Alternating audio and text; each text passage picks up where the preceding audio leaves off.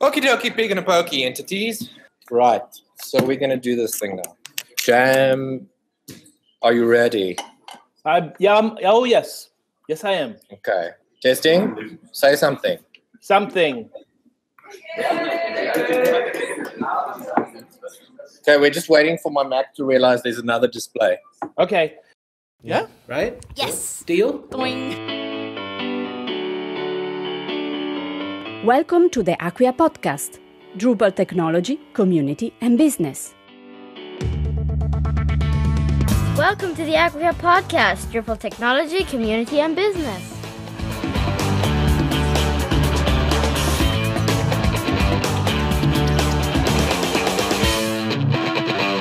There's a module for that? There, of course, there is. Can we see me? Not yet, but we can hear you. Okay. Hey, so uh, how many people are at their first ever Drupal or open source software event? Yeah, Daniel will count for us quickly.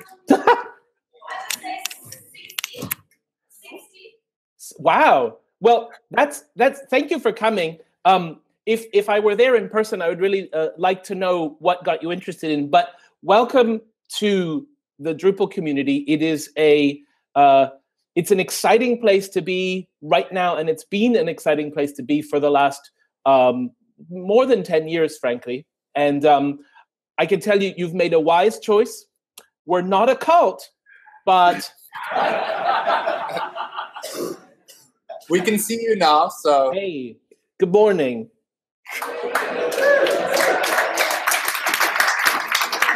Thank you thank you thank you so much for coming. And and it is it's an incredible time to be in drupal. And we're on the cusp of this amazing release with drupal 8 and to sum up a lot of what you were just hearing drupal 8 it has built been built over the last five years in a very forward thinking way. And it's very future friendly and it's going to allow us to um, enable a lot of good to be done in the world and and and affect a lot of change and help people realize their visions um, in a transparent and a secure in, uh, way. And this this story of empowerment is what I call the fundamental design decision of Drupal: the the ability to give less technical users incredible, uh, incredibly powerful tools um, through the user interface.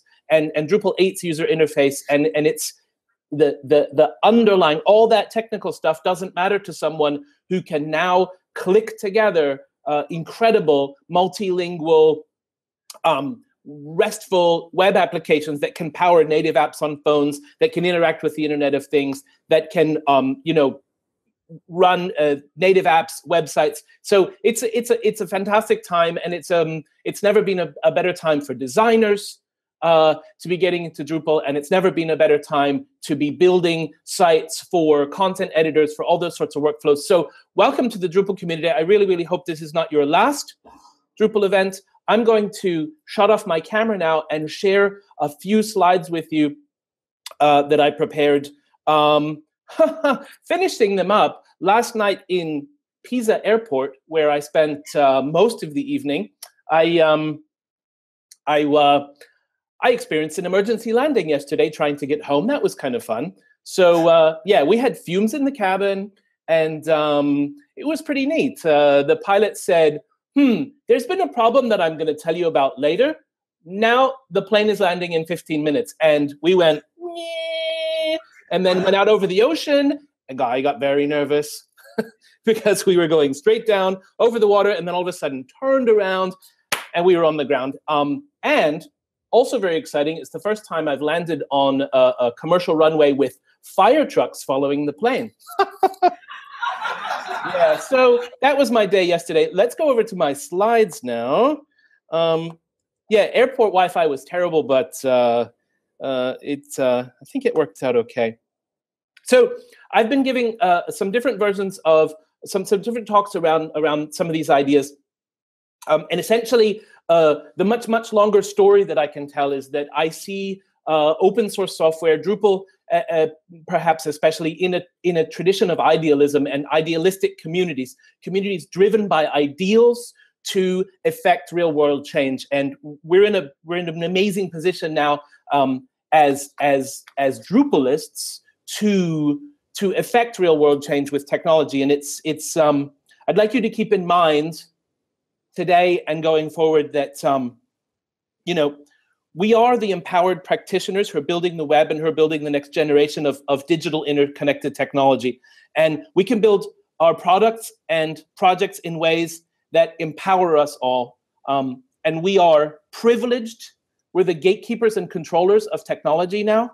Um, and we should always strive to build safe and secure applications by default. We shouldn't make things ugly and hard to use and RTFM stuff because um, who cares about the dumb people? And our project Drupal is very good at empowering less technical users. Okay. Even more importantly, digital rights are human rights in this day and age. And we have an opportunity and a responsibility to enable others less technical than ourselves to enjoy freedom, privacy, and security. So, the title of the talk, Idealism as Code. Um, what's a quick example of that? Well, the United States Constitution uh, and the Bill of Rights, which are the first 10 amendments to the Constitution, were written in the late 18th century, and they included a passage uh, in the First Amendment, uh, which is the first piece of the Bill of Rights, which said, uh, among other things, that citizens have a right to petition the government for a redress of grievances. Now, in 1791 uh, and in 1850 and in even in 1950, to petition the government was an awful lot of work. Even with uh, uh, by the 1950s, with a national uh, transport network and, and aeroplanes in use, um, collecting signatures was incredibly laborious. You had to be everywhere in the country. You had to ship ton- literally tons and tons and tons of paper to the government if you wanted to make an effective position, petition. Nowadays, expressing an incredibly idealistic statement like the people have the right to re- uh, redress of their grievances with the government, um, well, the White House has uh, a number of GitHub repositories and is participating in open source. And there's this We the People application, which is built in Drupal, and it allows people to petition the United States government to change something. So there have been some great petitions so far. Um, at this point,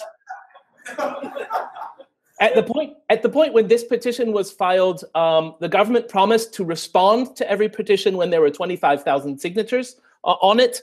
Um, the White House's official answer uh, to this particular petition began with, This is not the response you're looking for.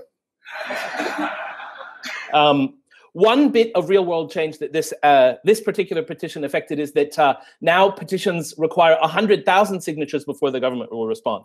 But uh, this is a, a, a, perfect example of, of an, idealist, an idealistic statement uh, uh, about society that we can now actually make happen thanks to thanks to Drupal, thanks to thanks to code. So um, I'm going to skip over this in the interest of time. My hope is that there are some of you there who have come because you've heard about Drupal 8 and all of these exciting external technologies that we're importing. Um, but those are conversations for another day. As I said, I'm here because I want you, when you're building applications, I want you to be successful at free Libre open source software. And you must please build safe and secure applications that maintain our privacy and our freedom. And they need to be compelling. And when I say that, we're living in the iPhone age. We're living in a world where beautiful, fantastic digital experiences are available to all of us very, very cheaply. And we have to build those too. So let's keep that in mind. And they should empower people to do good, to do well, to realize their own visions. That's what we're here for. This is me. Uh, I call that suit the hipster camouflage suit. I'm uh, probably most active um, on the Acquia podcast. You can find me on Twitter making a lot of noise, especially when my plane lands uh, at uh, you know in exciting ways. Uh, I'm uh, also uh, there's my email. Please feel free to be in touch. I'll be at DrupalCon Barcelona if any of you are going to be there. I'd love to have a chat. I'd like to thank my employer because I have a super cool job. And um, thanks, Drupal Camp Cape Town, for inviting me. I wish I could be there in person. Um, maybe we can make that happen the next time around. So, Angie Byron, um, I did a podcast with her. You can find that on that stream. um, she she made a great statement that I that I that I really like. Uh, and the interview is uh, we were at the United Nations actually when we were doing this, and she said, "We make we as Drupalists we make really abstract, complicated programming concepts concepts accessible to non-developers, available to them by clicking a few buttons without having to understand all the code that comes underneath it." What I get excited about is the idea that we create really easily accessible things to help those people who are on the front lines trying to make the world a better place. We can build technology to enable that. So, um, especially with the story about you know mobile internet access in the world and in the developing world, uh, Drupal built in a mobile first way, uh, in a RESTful first way, able to power apps and and and, and mobile uh, websites by default. Drupal 8's in a perfect position to do this. So this is fantastic. Here are the four statements that that kind of form our ideals. You're free to use this stuff for any reason, and nobody can take it away. And you're free to understand it, and that mitigates risks. And um, you can really get exactly, you know, it does what it says on the box, and you can be sure of that. And you can make, you can change it, you can make it exactly the tool you or your clients need. And we're all incredibly empowered by the fact that every time you fix a bug, it's also fixed for me. Every time I write an improvement to your module, it's also available to everyone else. And by sharing this, we, we become an incredibly powerful org- organism, an incredibly powerful force for good. There are more, you know, plus minus 30,000 active developers, 100,000 active users on Drupal.org, and literally millions and millions of people in the world who touch Drupal every day. And that's incredibly, that's incredibly exciting. Um, I highly recommend this book, Democratizing Innovation. It uh, predicted a lot of what's happening in open source today already 10 years ago. Um, and essentially, uh, this, uh, this particular statement, he talks about um, how people building the tools that they use themselves are an incredible force for innovation because we know exactly what we need and we don't have to wait for someone else to build it for us. This is a, a fantastic read if you're interested in this particular concept um, I'm going to put these slides up online um, and uh, skim over a lot, obviously today because we don't have a lot of time. Here's a here's a really interesting comparison about working in proprietary versus working in open source, and this is the pragmatic side. This this is has nothing really to do with uh, with the freedom side. This is the a lot to do with the fact that it has a zero licensing fee. Uh, you know, a, a licensing fee of zero money. And uh, when you once you get to the bottom half of this slide, you'll notice that once you're not paying a licensing fee, you can invest in features. You can tell your clients that for the same price, I can build you a better product, a project by definition, right? And you're free to invest in what you need and when you need it, and in your own team. And this is also incredibly empowering.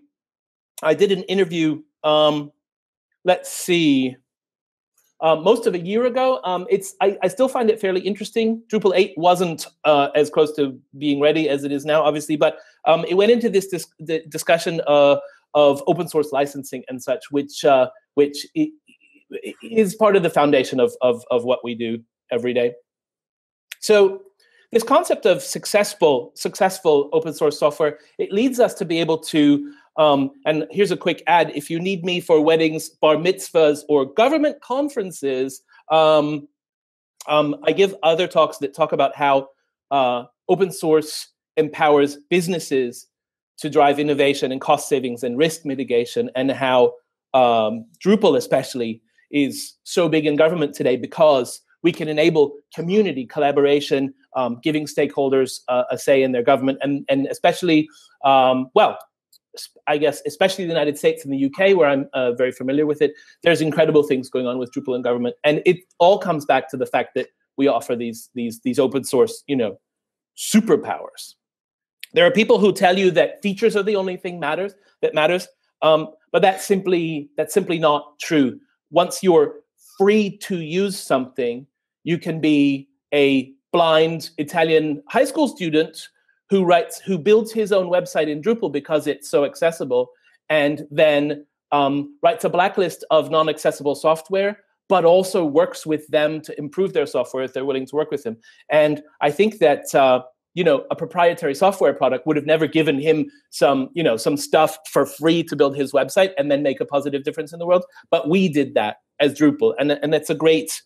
Uh, it's it's a great testament to the power of what we do owning the bricks of your building, right? Owning your own infrastructure puts you in control of your own destiny. I don't want my government to be beholden to someone else um, for you know for the citizen services that I need, um, and I don't want my landlord, you know, uh, uh, to double my license fee next year for me to keep my own business.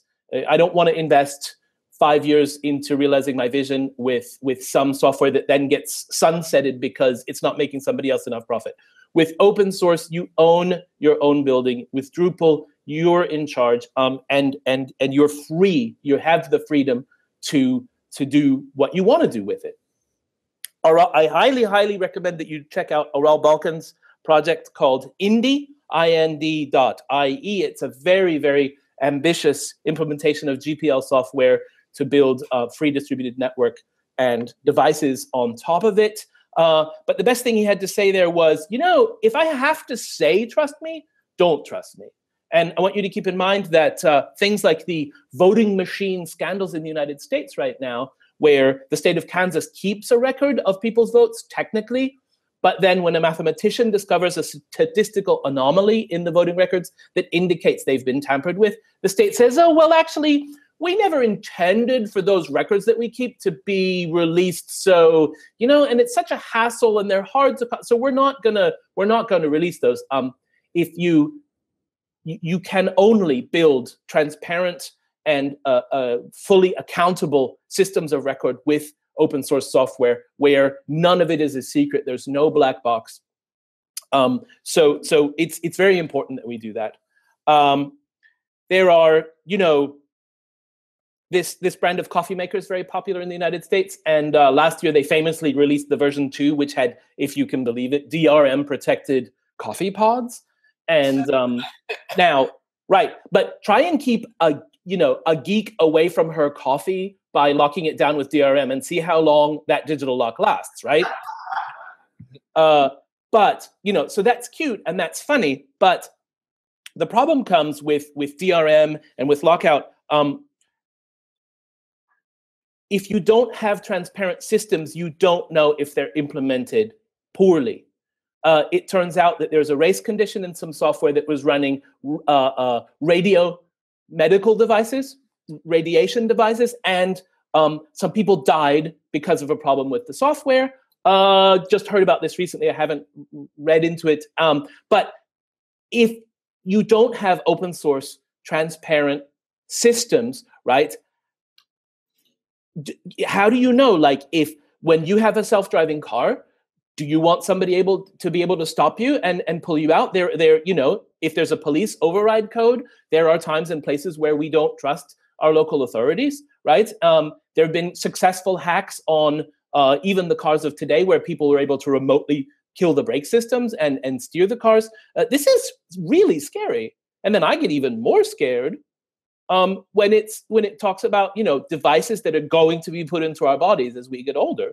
Um, these things are coming. There are already pacemakers in people's bodies that are uh, uh, Bluetooth enabled that are non-secure. They're completely open implementations. So anybody could could walk by one of these people and kill them. And there are proven attack vectors into those devices. That is frigging crazy. So we need to take over the Internet of Things with accountable, transparent, open source software. Um, I encourage you to look into the AllSeen Alliance and the AllJoyn framework. This is a Linux Foundation effort to create an open standard and an open framework for Internet of Things devices, and it's a it's a really really really worthwhile effort. And I hope that um, you know, looking at these sort of devices, you can imagine the kind of havoc that bad actors uh, who are technically capable could uh, could wreak with that that sort of stuff. Thank you so much for inviting me to have a quick chat with you today. I really, really encourage to remember the I encourage you to remember the incredibly privileged position that we're in as as as technically capable people, and that we need to help everyone else out. Drupal is a great place to give that kind of help. Please build safe, secure, compel, compelling, and empowering applications by default. Please also feel free to be in touch with me. And um, thank you so, so, so very much. I, uh, I'm really, really glad to be here today. And bring me a badge to Barcelona.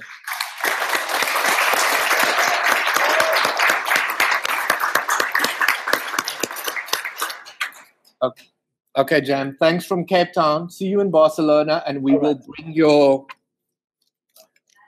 badge. Excellent. Hey, Cheerio. have a great camp. Will do. Okay.